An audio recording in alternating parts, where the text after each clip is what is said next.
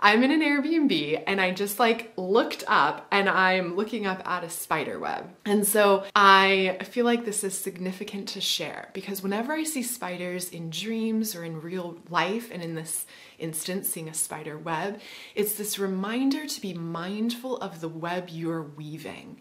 Be mindful of your thoughts, of your emotions, of your patterns. Are they in alignment with what you're wanting to create in your life, or are they rooted in the old? Clarity and awareness are a first key to then be able to take the steps and do the work to transform and let go of what no, no longer serves and claim the new direction consciously, mindfully, writing what you desire to see in your life into creation. This is a powerful time for this now.